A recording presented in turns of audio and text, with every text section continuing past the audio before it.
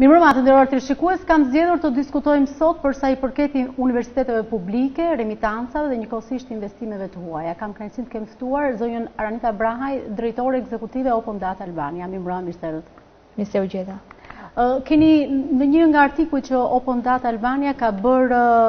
pikërisht për sa i përket universiteteve publike, është gjetur se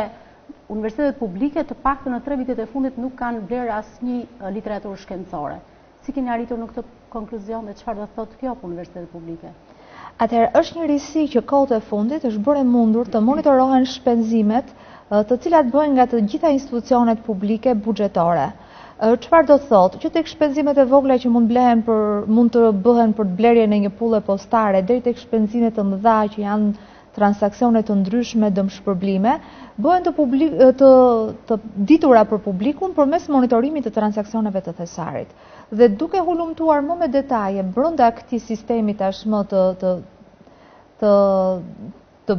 bërë të njohur për publikun, është zbardhur që në tërësinë e shpenzimeve të vitit 2012, 2013 dhe të katër muajve të parë të vitit 2014, të gjitha institucionet e arsimit të lartë universitar, ashtu sikurse dhe qendrat e studimeve universitare, nuk kanë shpenzuar pothuajse asgjë për të pasuruar bibliotekat e tyre, për blerë literaturë shkencore apo për t'u bërë pjesë e abonimeve shkencore. Nëse shikon shpenzimet e departamenteve, universiteteve apo rektorateve, shikon që shpenzimet janë të larmishme, që tek ato për paga, shpenzime që kanë të bëjnë me dëmshpërblime, shpenzime për investime apo në ndonjë rast edhe shpenzime të karakterit telefoni celulare për trupat udhëheqëse të këtyre universiteteve, por në asnjë rast nuk kemi gjetur qoftë edhe një shpenzim prej pesëdhjetë lekësh të reja Për një titull shkencor apo për një abonim shkencor. Çka tregon që universiteti ynë me të vërtetë është në një gjendje krize, të cilën përpos vlerësimeve të cilat shpeshherë i vënë palët edhe në kontekstin e të qenurit subjektiv apo objektiv në atë çka artikulojnë, tregohet qartë dhe në mënyrën se si i kushtojnë rëndësi dhe se si shpenzojnë para të taksapaguesit shqiptar universitetet dhe institutet e edukimit të lartë universitar, gjatë kohës që ato pak a shumë ushtrojnë veprimtarinë e tyre. Në çfarë niveli është buxhetuar sistemi publik universitar, duke pasur parasysh që këto financohen nga buxheti i shtetit, për shembull në krahasim me vitin 2013 si ka qenë 2014-a? Atëherë, është tepër interesante për të thënë që institucionet tona të arsimit të lartë jo publik, megjithëse kanë tentuar vazhdimisht të kërkojnë pavarësinë e tyre ekonomike, nuk kanë arritur akoma të jenë të pavarura, të arrijnë të sigurojnë të ardhurat e tyre për të mbajtur trupat pedagogjike apo për të mbajtur institucionin me shpenzimet që duhen, ashtu sikurse janë të pakta mundësitë për të krijuar financim nga projekte dhe programe të cilat do të jepnin mundësi të krijonte një pavarësi më të theksuar kundrejt buxhetit të shtetit. Ajo çka ne kemi ndaluar së fundmi në kontekstin e buxhetimit është buxheti faktik. Pra, po shikojmë tani se si është shpenzuar, jo çfarë është planifikuar në fillim të vitit. Pse kjo? Në realitete si Shqipëria shpesh buxheti i arsimit planifikohet i lartë në vitin në muajin e në muajin e parë të vitit, por ndërkohë gjatë dymbëdhjetë muajve të tjerë ai vazhdon të mos realizohet, ndërsa buxheti faktik është me të vërtetë ajo që ka shpenzuar në mënyrë reale. Dhe rezulton që institucionet në vitet dy mijë e dymbëdhjetë, dy mijë e trembëdhjetë kanë pasur buxhetin pak më të lartë, niveli arrin në një përqindje të mirë, Po ta shikojmë kështu në një kornizë të përgjithshme, janë buxhetuar pak më shumë disa institucione të arsimit të lartë, ndërkohë që në tërësinë e buxhetit është Universiteti i Tiranës, i cili zë njëzet e pesë për qind të totalit të shpenzimeve për universitetet në Republikën e Shqipërisë. Ndërkohë që universitete të tjera të rretheve kanë shpenzime më të ulëta, ashtu sikurse dhe universitete si Universiteti i Mjekësisë apo Universiteti Politeknik apo Fakulteti i Shkencave të Natyrës kanë buxhetet e tyre përkatëse. Thuhet që universitetet publike janë falas, por edhe ato nuk janë pa pagesë. Janë apo s'janë falas? Atëherë është një realitet që po përballen vitet e fundit, familje të cilët i kanë dërguar fëmijët e tyre të studiojnë në universitete publike, ashtu sikurse dhe studentë që janë kanë marrë përsipër të përballojnë vetë shpenzimet për ciklin e studimeve universitare. Përballja është me faktin që duket sikur regjistrohen në një shkollë që nuk është shkollë private, pra në një shkollë të lartë e cila është publike, Koncepti i përgjithshëm është që shkollat publike në përgjithësi janë falas, pra nuk kanë tarifa, Por në fakt, nga viti në vit, studentët dhe familjet e tyre përballen me një tarifë, e cila në universitete të ndryshme është në vlera të ndryshme. Dhe konkretisht në vitin shkollor 2013-2014, me një vendim të këshillit të ministrave, kjo tarifë është rritur nga 4 deri në 10% sipas degëve përkatëse. Dhe çfarë ndodh, unë kam të përmbledhura dhe janë tashmë të publikuara ditët e fundit dhe në kontekstin e Open Data Albania, të dhëna që kanë të bëjnë pikërisht me tarifat e studimeve në fakultetet tona. Dhe rezulton që një student i cili studion në fakultetin e sociologjisë apo në fakultetin e drejtësisë paguan më shumë se sa kolegët e tij të cilët studiojnë në fakultetin e ekonomisë apo në fakultetet e tjera si shkencat e natyrës, degë të tjera të profilit gjuhët e huaja, filologjia e të tjera si këto. Pra duket sikur sociologu dhe juristi e kanë pak më të lartë koston e studimeve në Republikën e Shqipërisë, për sa i përket universiteteve publike, universiteteve të shtetit. Për shembull, ajo çka mund të them është që tarifat për të vendosur se sa caktohen në bazë të një direktive të ligjit për arsimin e lartë, Por është Këshilli i Ministrave me propozim të Ministrisë së Arsimit ai që cakton këto tarifa. Dhe po të kemi parasysh që tani sistemi ynë funksionon me dy apo tre nivele të edukimit, që është që ke niveli sistemi trevjeçar, më pas është masteri shkencor apo profesional, e më tej kemi dhe studime të tjera të nivelit të dytë dhe të tretë, të tretë janë doktoraturat, mund të themi që këto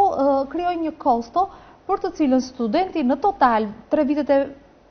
sistemit fillestar dhe 2 vite të masterit apo 1.5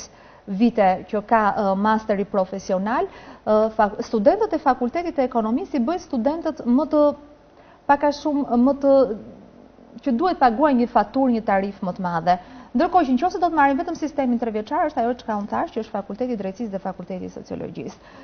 Për shembull, në qoftë se do të shohim për master në shkencat në Fakultetin e Shkencave Sociale për vitin akademik aktual, tarifa totale është nëntëdhjetë e tre mijë e gjashtëqind lekë. Nuk është një tarifë e vogël, po të mendosh që trevjeçarja tashmë nuk është ndonjë diplomë shumë e lakmuar, do duhet patjetër që studenti të ketë tre plus dy dhe do duhet të nënshtrohet edhe këtij sistemi dyvjeçar për të pasur një diplomë të integruar të nivelit të dytë. Ndërkohë që Fakulteti i Shkencave të Natyrës, megjithëse nxjerr inxhinierë IT apo ICT, është një fakultet ende i tarifuar pak, ndoshta kjo edhe për faktin që tarifimi vjen në bazë të kërkesë ofertës për ta ndjekur këtë fakultet dhe jo për shkak të cilësisë me të cilën kjo diplomë pak a shumë artikulohet në tregun e punës. Është tepër interesante për të parë që vit pas viti të paktën katër për qind janë rritur këto tarifa dhe do të arrijmë në një moment që do të kemi kontekstin ku familje të cilat i përkasin nivelit të ulët ekonomik ose individë të cilët do të kenë vështirësi në një sistem edukimi ku nuk ka as opsione të kreditimit të butë apo kreditimit nga biznesi për individë të cilët meritojnë t'u japësh mundësi të ndjekin, do të kthehet edhe në një kriter skualifikues ose kriter pamundësie, gjithmonë flas për persona të cilët kanë vështirësi të mirëfillta ekonomike në jetën e tyre të përditshme. Ndoshta nuk do jetë për nivelin mesatar sakrifica e një viti shkollor, por për një familje të thjeshtë, aq më shumë një familje jo nga Tirana, por nga rrethet që do duhet të përballojë dhe shpenzime të tjera për ta sjellë një të ri për të studiuar në fakultet, kjo do të krijojë gjithmonë e më shumë probleme dhe hendek, i cili me sa duket sistemi dhe tarifat e sistemit publik do t'i afrohen pak a shumë edhe atij tregut të sistemit jo publik apo sistemit privat siç e njohim. Ju si Open Data Albania keni publikuar së fundmi edhe të dhënat për sa i përket investimeve të huaja, duke marrë parasysh të dhënat e vitit dy mijë e dhjetë deri në vitin dy mijë e trembëdhjetë, çka rezultojnë se janë më të larta sesa remitancat. Pse janë vendosur së bashku këto dy tregues? atëherë ne të dy indikatorët, qoftë remitancat dhe qoftë investimet e huaja direkte, jemi përpjekur t'i shohim në një jetëgjatësi prej më shumë se një dekade, pra jemi përpjekur ta shtrijmë harkun kohor. Por së fundmi është një artikull i cili është publikuar duke dashur të përqasë një vlerësim dhe një raport apo një peshë tek njëra tjetra të investimeve të huaja dhe të remitancave, pikërisht për të parë se si po kontribuohet në ekonominë kombëtare apo në llogaritë korrente të ekonomisë shqiptare. Kjo për të konstatuar nëse ekonomia jonë është një ekonomi investimesh ku po hapen vende pune, ku po krijohen investime konkrete, pra po rritet dhe po zgjerohet ekonomia brenda vendit dhe ky do të ishte një kontekst edhe më pozitiv, apo mbetemi ende ajo ekonomia e ngushtë, ekonomia e varfër ku familjet të cilat jetojnë në kushte pak a shumë gati në nivel diskriminues apo pak nën nivelin mesatar, presin që t'u dërgojnë akoma ende të ardhura emigrantët të cilët janë jashtë Shqipërisë dhe që gjithmonë kanë qenë kontribues kryesorë në konsumin e ekonomisë shqiptare. Për këtë arsye ne kemi vendosur pranë investimet e huaja direkte dhe vlerën e remitancave, pra flukseve, parave që kanë ardhur nga jashtë Shqipërisë dhe kanë hyrë në Shqipëri, Kjo me kontekstin për të parë se cila është cilësia e ekonomisë. Dhe ajo çka është konstatuar është që investimet e huaja direkte, të paktën në katër vitet e fundit, janë në nivel më të lartë se paratë të cilat vijnë nga jashtë Shqipërisë në Shqipëri pa pasur qëllim ndonjë shitje ose ndonjë investim të drejtpërdrejtë, pra supozohet që këto janë para të emigrantëve. Dhe kjo tregon që jo vetëm kriza ekonomike po e bën më të ndjeshëm emigrantin shqiptar i cili jeton në tregun europian të punës dhe ka pasur vështirësi që i ka pasur ekonomia europiane në recension, por edhe për të thënë atë që edhe kultura sociale e jetës ka filluar të distancohet nga ato vitet e para të tranzicionit, kur djem dhe vajza të reja kishin prindërit që kontribonin ose gjysmën e familjes, ndërkohë që efekti social i emigrimit tashmë është një efekt ndryshe, Familjet shqiptare janë zhvendosur përfundimisht disa prej tyre në emigracion, ato investojnë dhe kontribojnë në vendet përkatëse, rrisin fëmijë në vendet përkatëse dhe pse jo dhe investimet afatgjata tentojnë t'i bëjnë atje, duke kontribuar gjithnjë e më pak për ekonominë familjare të prindërve apo të familjes mëmë që mund të jetë në vendin e origjinës. A është korrekt përcaktimi kur themi meqenëse ju thatë para, presupozot që janë para të futura në Shqipëri nga jashtë? A është korrekt përcaktimi që remitancat janë pikërisht dërgesat e emigrantëve? Është tepër interesante pyetja juaj, është korrekt, për një përqindje shumë të lartë të vlerave që hynë nga jashtë vendit drejt Shqipërisë, pa pasur nevojë për kundërshpërblim, pra pa qenë pjesë e një pagese për punë ose pagese për investim, Është korrekte sepse janë drejtpërdrejt para që emigrantët kanë sjellë në Shqipëri. Por në një kontekst tjetër, këto mund të jenë dhe para të tjera, të cilat janë transferuar për qëllime të ndryshme, në plan afatshkurtër nuk kanë një qëllim dhe një destinacion investimi apo shpenzimi, por kanë ardhur në vend dhe janë vendosur për qëllime apo gjithsesi mbetet domethënë për të pasur dhe më kujdes në leximin e llogarive hyrëse. Nga ana tjetër, ajo çka duhet parë me kujdes dhe kam përshtypjen është një defekt i cili ka kontekstin e një e një mungese vlerësimi qoftë nga autoritetet e Bankës Qendrore të Shqipërisë, e qoftë nga grupi i analistëve ose atyre që pak a shumë duhet të japin përgjigje për një opinion publik që është jashtëzakonisht i vëmendshëm ndaj efekteve makroekonomike, është edhe fakti nëse këto kanë qenë remitanca dhe kontribute të emigrantëve të drejtpërdrejta të ardhura këtu për t'i shërbyer konsumit në vend, pra kanë qenë një farë ndihme apo një farë zhvendosje në vendin e parasë në vendin e origjinës, apo ka qenë një zhvendosje afatshkurtër për ta sjellë këtë para të vendosur në një shtet tjetër në vendin mëmë, pra në vendin e origjinës, sepse këtu sistemi i bankave të nivelit të dytë ka pasur një vlerësim më të mirë të të interesave të depozitave, sikurse ka pasur dhe një normë tatimi të interesit bankar më të ulët se sa bankat e tjera europiane. Në këtë kontekst do duhet që ekonomia dhe sidomos ata që bëjnë vlerësime në tregun bankar apo vlerësime në ekonominë kombëtare, të shënojnë me kujdes disa lëvizje dhe disa vendime të fundit të Bankës së Shqipërisë, për arsyen e thjeshtë se nëse është ky rast, pra nëse emigrantët i kanë sjellë paratë këtu, duke dashur të përfitojnë nga një sistem bankar pak më bujar në norma interesi, atëherë në momentin që interesat bankare të depozitave tona janë ulur ndjeshëm dhe janë ulur duke rënë ndoshta dhe në nivelin e disa vendeve europiane, Sikundër kemi një njoftim që do të ketë një rritje të tatimit mbi fitimin që vjen nga interesi bankar, këto familje do të jenë përsëri të interesuara që të bëjnë zhvendosjen e depozitave të tyre bankare. Duke bërë zhvendosjen e depozitave të tyre bankare, do të kemi para flukse dalëse, pra do kemi remitanca të kundërta, do të kemi para të cilat tashmë mundet, pra presupozohet, është një tezë dhe do duhet presim rezultate statistikore për të thënë nëse teza ka baza faktike baza në numra, pra mundet që të na lëvizin depozitat të sistemit tonë bankar në tregun bankar të huaj. Dhe kjo ndoshta do të krijonte probleme për ekonominë vendase, do të krijonte më pak hapësirë për të pasur një treg në parametra të shëndoshë ekonomik treg bankar, do krijojë më pak mundësi për të pasur tatime nga interesat, tatime të cilat i shkojnë arkës dhe buxhetit të shtetit, dhe do ketë ndoshta edhe më pak individë të kënaqur nga një sistem ekonomik të cilin pse mos ta përfitojmë nëpërmjet tregut vendas por t'i japim mundësi. Kështu që Banka e Shqipërisë do duhet ta analizojë këtë fakt dhe do duhet të jetë e kujdesshme për të dhënë përgjigjet e duhura, për të bërë analizën e duhur, ose në qoftë se ky rast konstatohet në muajt në vijim, për të bërë pse jo dhe reagimin e duhur.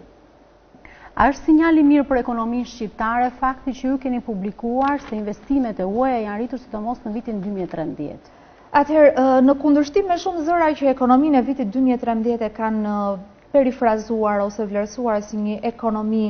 në krizë, në recension, një ekonomi të rrezikuar. Fakti që na vjen nga vlerat e investimeve të huaja direkte në Shqipëri për vitin 2013 tregon që ato janë rritur, pra ka qenë një vit pozitiv. Çka nuk pritet kryesisht në vite elektorale sepse dhe për shkak të besimit që krijojnë palët ekonomike ose palët e biznesit për të qarkulluar në zona ku ndonjëherë klima elektorale ose klima politike shkakton edhe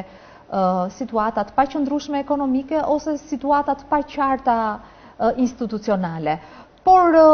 ky kontekst i investimeve të huaja direkte të rritura ka edhe një element tjetër, i cili nuk është fort pozitiv. Kemi një kontekst investimesh të huaja direkte të rritura jo për shkak të investimeve që vërtet kanë ardhur nga jashtë, dhe kanë krijuar treg pune apo kanë krijuar kapital në vendin tonë, por është thjesht një blerje pra një privatizim. Është fakti që janë tre hidrocentrale të cilat kanë qenë publike shtetërore, janë blerë nga një kompani turke dhe kjo kompani turke pak a shumë ka blerë një investim i cili ishte, thjesht ka ndruar pronësia e investimit. Nuk di a do të ketë efiçencë në rritje të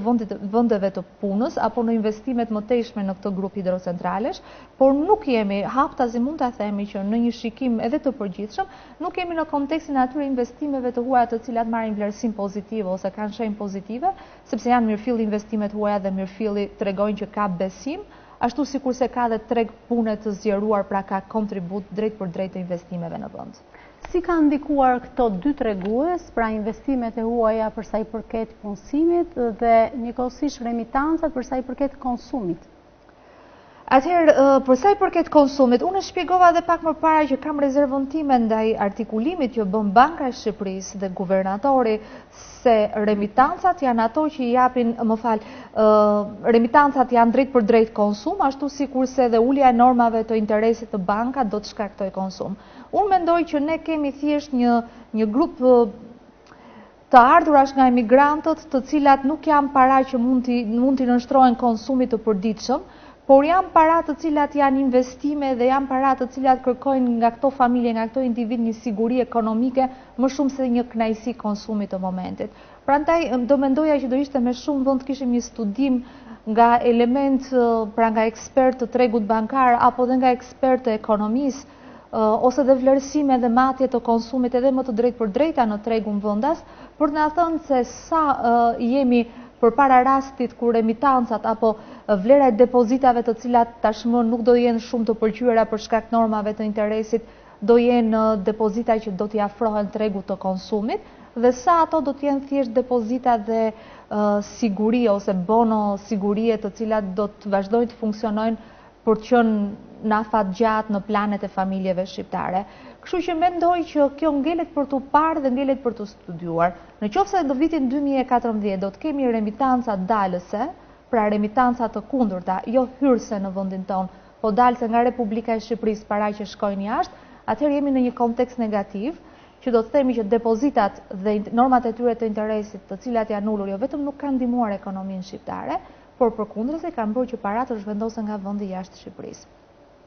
Për sa i përket investimeve të huaja direkte, është një moment për ta parë pak me skepticizëm faktin që në tre muajt e parë të vitit nuk kemi artikulime të qarta sa është tendenca për t'i pasur këto investime, nuk kemi kontekstin e privatizimeve pasi ekonomia është dhe privatizim, në fund të fundit duhet të distancohemi nga shteti i centralizuar i cili tentonte t'i mbante sa më gjatë objekte të ngurtësuara pa prodhim dhe gjithçka duhet dalë në treg natyrisht për të marrë një çmim të drejtpërdrejtë, ashtu sikurse ndonjëherë shikoj që është shumë e përqendruar ekonomia tek disa biznese të cilat nuk janë biznese investimesh të mirëfillta,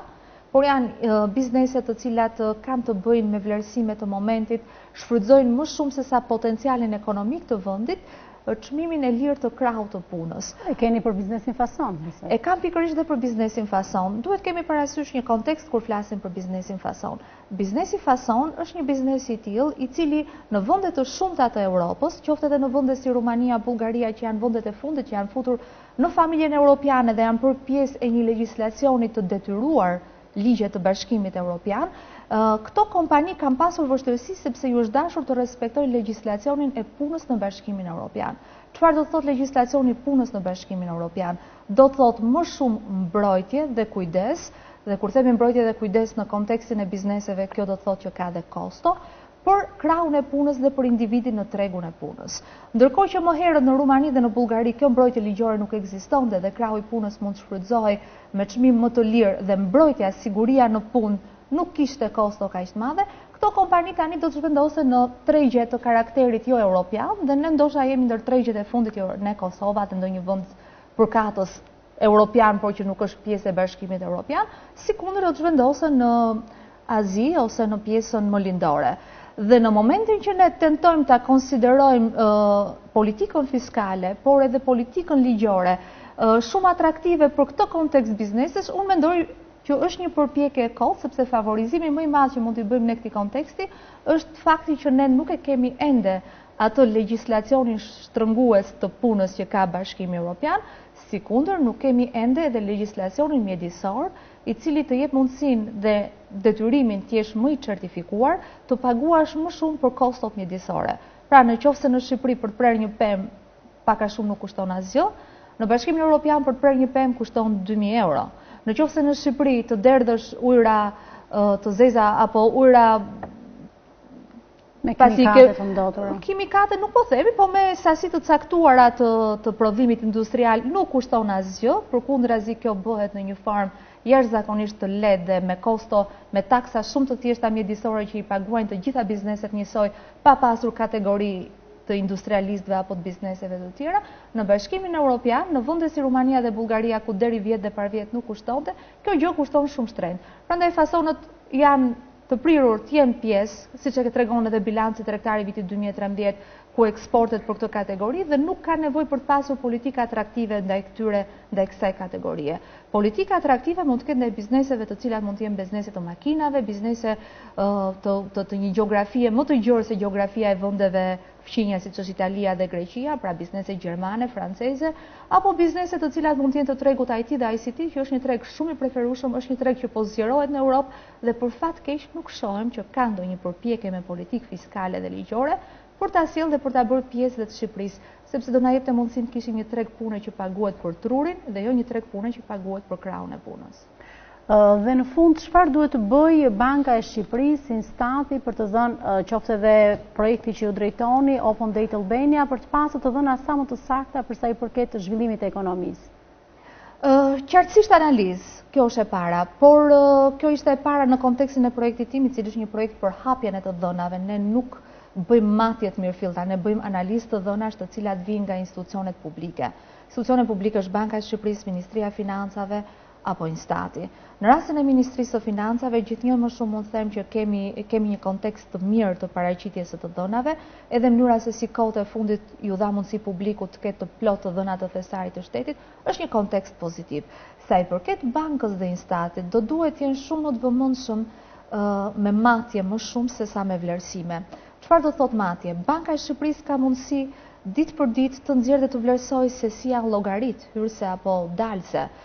INSTAT-i ka mundësi të koordinojë me institucione të tjera për të pasur në kohë në kohë shumë të shpejtë të dhëna për indikatorë që ne na shqetësojnë dhe që i artikulojmë. Nëse unë do të marr një shembull shumë të thjeshtë, një indikator ose një grup indikatorësh treguesish për të cilët ne flasim gjerësisht, është edhe ai që ka të bëjë me punësimin. Ne gjithmonë akuzojmë dhe e lëmë pjesën të jetë pjesë e debatit shterp të politikës vendet e punës të hapura apo të mbyllura, të gjithë flasin me kontekste perceptimesh, ndërkohë që çdo punonjës e di shumë mirë ose çdo